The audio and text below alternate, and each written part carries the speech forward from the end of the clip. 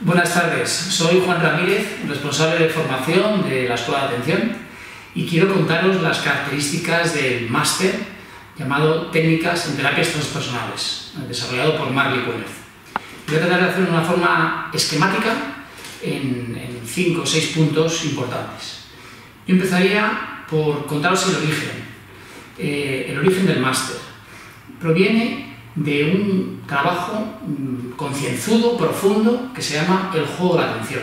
Es un proceso psicoterapéutico de cambio personal que han pasado mm, pues, miles de personas en las tres décadas y pico que tiene este trabajo y lo que hace el máster es enseñar, mostrar y capacitar a las personas en las técnicas que subyacen a este modelo.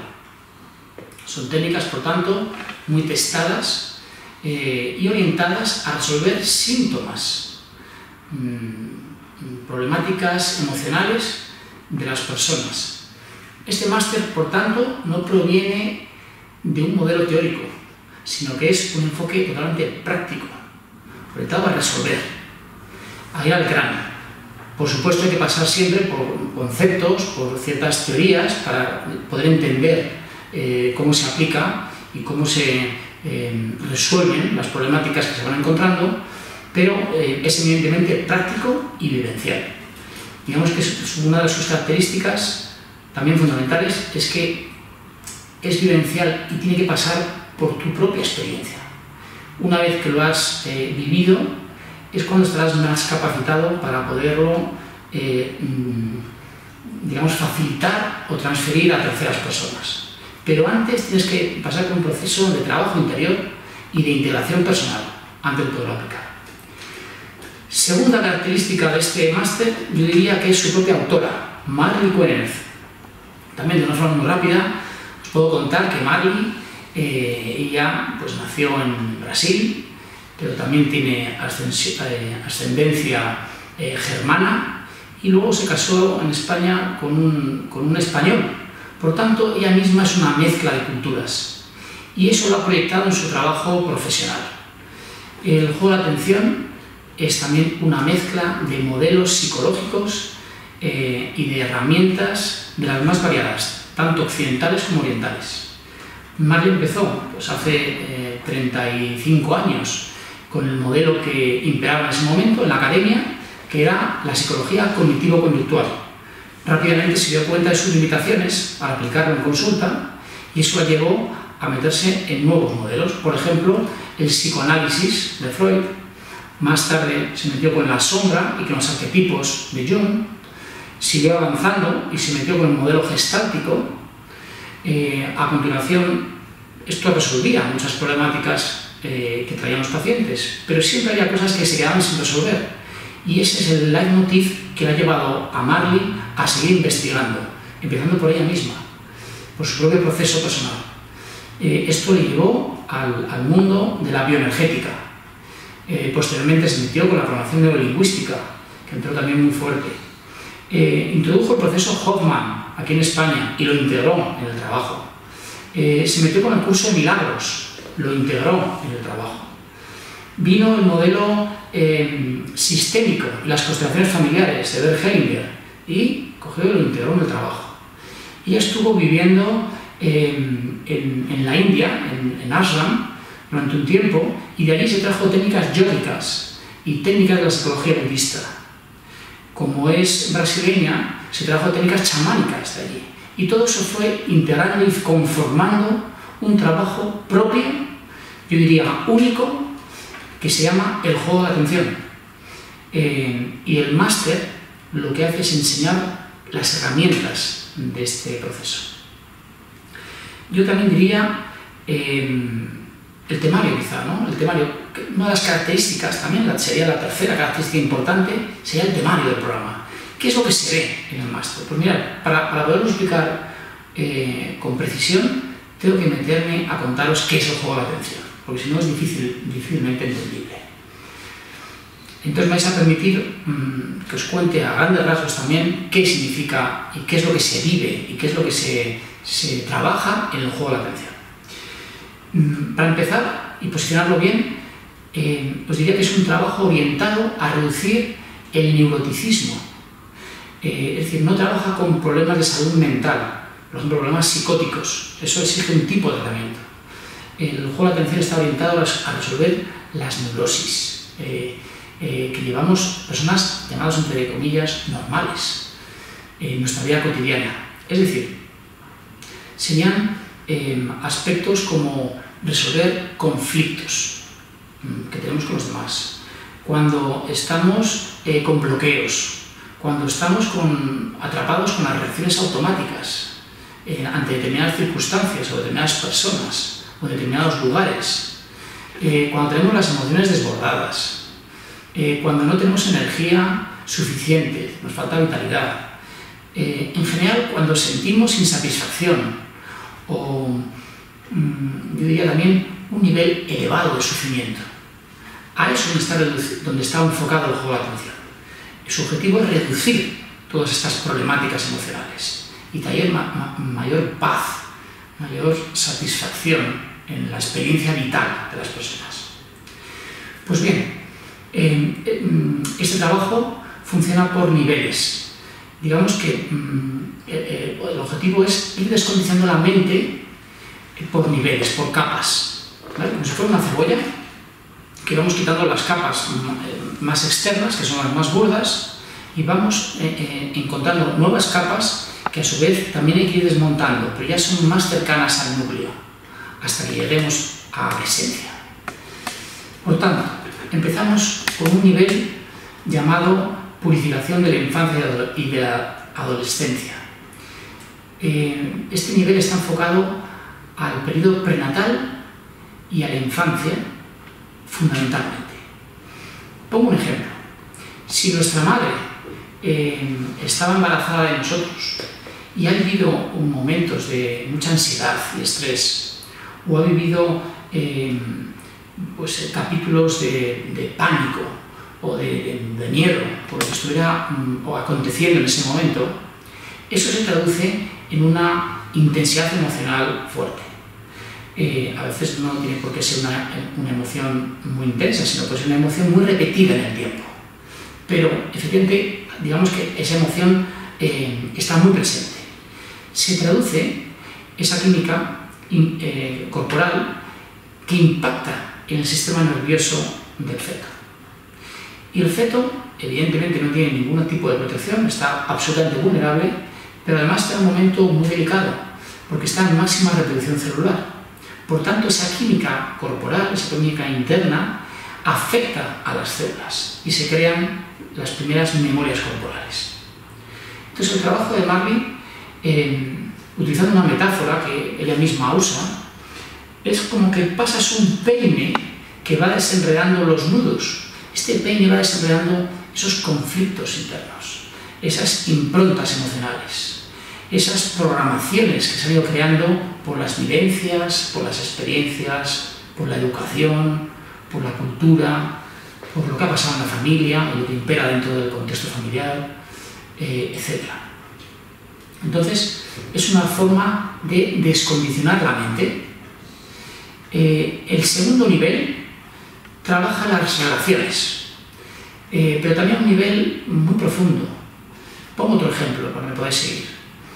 Eh, desde que somos pequeñitos, eh, hemos ido observando cómo nuestro padre, que representa el principio masculino, y cómo nuestra madre, que representa el principio femenino, cómo se han ido interrelacionando estas dos energías.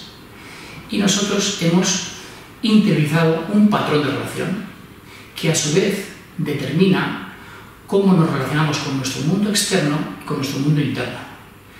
Entendiendo por mundo externo pues cómo nos relacionamos con el trabajo, cómo nos relacionamos con el dinero, cómo nos relacionamos con el sexo, cómo nos relacionamos con las amistades, etc.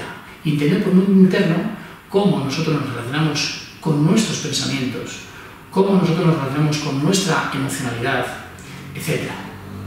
Pues lo que hacemos es, eh, metafóricamente, pasar ese peine que nos permite ir desenredando aquellos malentendidos que se han producido, aquellos estereotipos que se han quedado de alguna forma grabados en nuestro psiquismo. va, digamos, reduciendo eh, y alterando, transformando todas las memorias que se han podido producir en estos ámbitos, que de alguna forma nos afectan negativamente en nuestra vida cotidiana, porque habrá otras que nos afectan positivamente, pues vamos a dejarlas, porque nos están aportando un beneficio, pero aquellas que nos están limitando, que hacen que tengamos una experiencia em, de sufrimiento o una experiencia reducida, parcial, esas vamos a tratar de transformarlas. Esto es lo que hace ese segundo nivel de trabajo. Luego hay un tercer nivel que trabaja pues, varias emociones, pero hay algunas que son fundamentales. Y en este caso, en este tercer nivel, se trabaja la culpa. Cuando nosotros hemos sentido culpa, mm, siempre se vincula a un mecanismo de autocastigo. Es decir, cuando hemos experienciado de forma directa o indirecta eh, culpabilidad, hay un mecanismo de autocastigo que está mm, funcionando.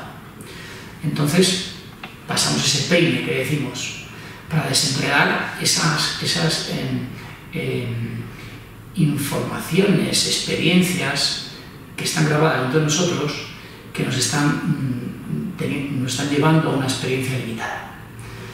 Em, y luego también otro, otro aspecto que se trabaja en ese nivel es el otro como espejo. Esto es muy importante. Marley lo llama el ABC del crecimiento personal. Es decir, los otros nos están eh, hablando sobre partes inconscientes de nosotros mismos. Aquello que me molesta, que veo en el otro o en la otra, me está diciendo que algo tengo que mirar yo dentro de mí. Algo está en mi inconsciente, alguna información está eh, no coherente, me está afectando. Con lo cual es también muy importante pasar ese peine, que vaya desenredando aquellos malentendidos, aquellas experiencias, que las resignifiquemos que les demos otro valor interno, porque al final estamos llenos de subjetividades. Luego, también de una forma esquemática, muy rápida, se trabaja un cuarto nivel que hace foco en los arquetipos y en los personajes.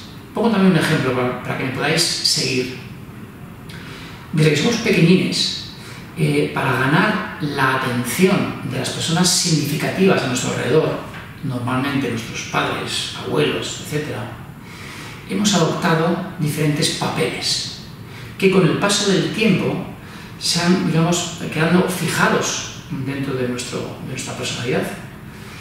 Eh, para el inconsciente el tiempo no existe, con lo cual da igual que tengamos 30, 40 o 50 años. A día de hoy, unos somos los perfeccionistas, que todo lo tenemos que hacer fenomenalmente bien, y si no, nos encontramos incómodos y en mal estado eh, emocional. Otros somos los que nos echamos las responsabilidades en la espalda y nos cargamos, nos volvemos hiperresponsables. Otros somos los que, eh, los rebeldes, que vamos en contra de lo que se diga y de lo que se proponga, aunque esto nos lleve hasta perder eh, lazos afectivos con los amigos o incluso perder relaciones familiares. Eh, otros somos los bienqueras, que mm, siempre tratamos de agradar a los demás, aunque sea a costa de faltarnos a nosotros mismos, etcétera, etcétera. Hay multitud de, personajes. Pero lo que vemos en este nivel es ganar conciencia. En todos los niveles estamos ganando conciencia, pero que ganamos conciencia en cuál de ellos estamos identificados, porque nuestra experiencia vital se está reduciendo a unos pocos arquetipos cuando en realidad tenemos todos a nuestra disposición. Entonces lo que hacemos en este, en este nivel es descondicionar la mente en este ámbito para ganar libertad interior. Em, hasta aquí, pues fenomenal, estamos, eh, em, digamos, tomando decisiones eh, que nos han llevado a un resultado concreto, el que sea, el que tengamos a día de hoy. ¿vale? Claro, cuando empezamos a descondicionar nuestra mente, eh, estamos provocando que esa energía interna que estaba retenida en bloqueos o en conflictos internos empieza a quedar disponible, empieza a fluir. Por tanto, nuestra capacidad de materialización aumenta. Y eso es lo que hacemos en el siguiente nivel. Revisamos los mecanismos de decisión. Es muy importante tomar conciencia de cómo funciona todo esto, porque empezamos a crear, a generar una realidad distinta en nuestra vida. Lo mismo, hasta aquí, pues también muy bien, hemos hecho un trabajo individual eh, muy importante, pero no es suficiente. Nos estamos dejando fuera a colectivo. Es decir, muy importante tener en cuenta a, las abuelas, a los bisabuelos, tatarabuelos, etc. Es decir, incluir en nuestro trabajo interior a todo el árbol genealógico, porque todo lo que no haya sido resuelto, todo lo que no haya sido procesado con conciencia, todo lo que no haya sido, eh, no se le haya dado amor, se le haya ocultado por diferentes motivos, está afectándonos, está presente en el alma familiar y eso está conectado con el inconsciente profundo. Y eso determina y condiciona mi experiencia cotidiana. Entonces es muy importante eh, en este nivel también hacer una labor de descondicionamiento de la mente metiendo todo este otro campo. Es muy importante em, dar luz, dar conciencia. En definitiva es dar amor a todas estas partes de mí mismo, porque todo al final eh, soy yo, todo se concentra en mí. Eh, esto es lo que se trabaja en el juego de la atención. Es un trabajo de amor, es un trabajo de conciencia que va, pasa por todas las etapas vitales, desde eh, el periodo prenatal hasta los ancestros, hasta la muerte. pues esto es lo que se ve en el máster. El máster enseña las técnicas y las herramientas que subyacen al juego de atención. Por eso es tan importante entender esto. Em, yo os diría que mm, lo hemos basado en una metodología grupal, esto también es muy importante. No es lo mismo trabajar de, forma individual. Este, este máster no proviene de la teoría, no viene de ningún modelo concreto, sino que es la fusión de muchos modelos pero además aplicados al terreno concreto de las personas, de sus problemáticas, de los síntomas que traen en su vida mm, normal, cotidiana. También es importante resaltar que este trabajo eh, está mm, de alguna forma refrendado por un estudio científico que se ha hecho en la Facultad de Psicología en la Universidad de Murcia. Eh, eh, un, equipo de gente, que podemos hablaros en otro, en otro vídeo, eh, se ha encargado de hacer unas pruebas exhaustivas de cuál es el efecto que tiene eh, el juego de atención a nivel terapéutico. Y los resultados han sido maravillosos. Es uno de los, mm, de los mayores mm, resultados en cuanto a la resolución o la eliminación, la reducción del neuroticismo. Pues estamos muy contentos de ello. Em, pero hemos dado el siguiente paso. Yo os diría que sería la cuarta característica del máster.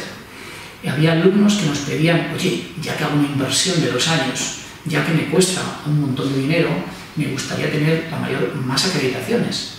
Entonces hemos dado un paso, hemos establecido un contacto eh, con la Universidad del Escorial de Madrid, el Real Centro Universitario de Escorial Mara Cristina, en Madrid, eh, porque es una universidad que tiene, desde nuestra perspectiva, eh, una visión amplia sobre el ser humano. Eh, tiene una mirada holística.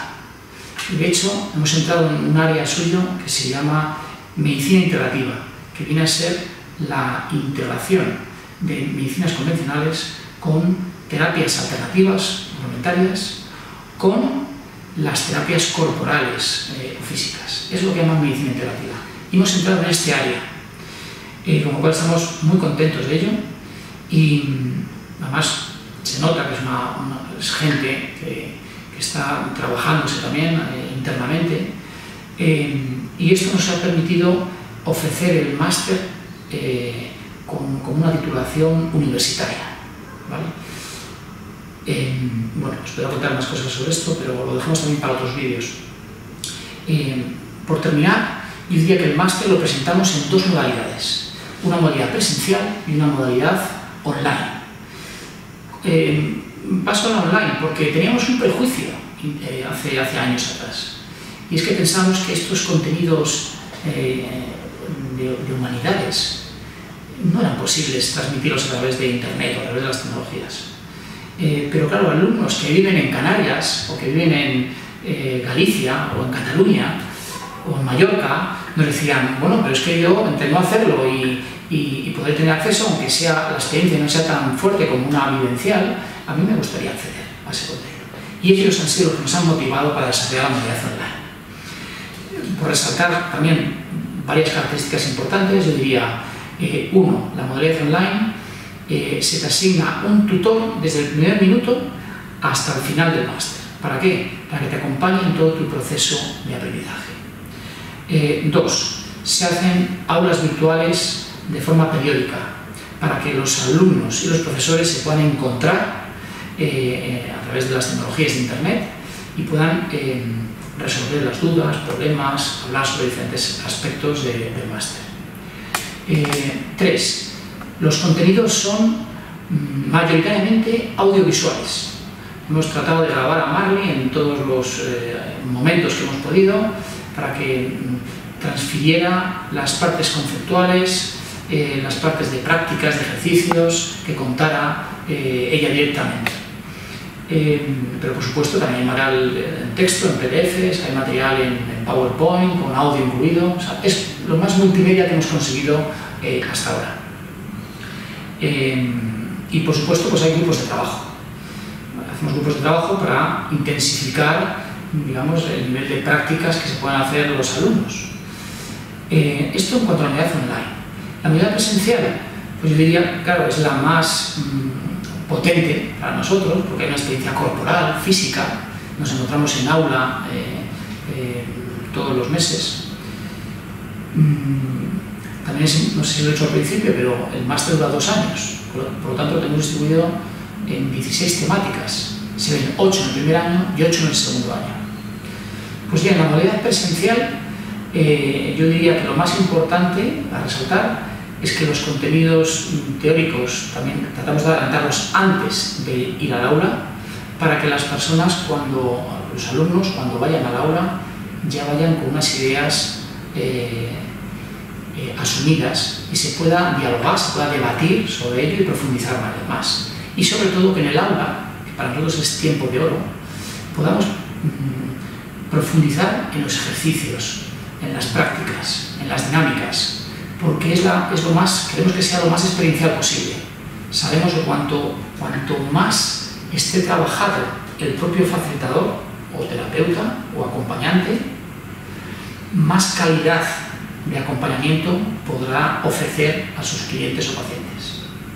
Todo pasa porque nosotros mismos estemos lo más trabajados internamente posibles, es que tenemos los más condicionamientos eh, mayores que podamos. Este es el objetivo del, máster. Eh, creo que lo, fundamental pues, os lo he resumido en este día. Eh, haremos más de todas maneras para aclararos algunos, algunos puntos si no han quedado del todo claros. Muchas gracias.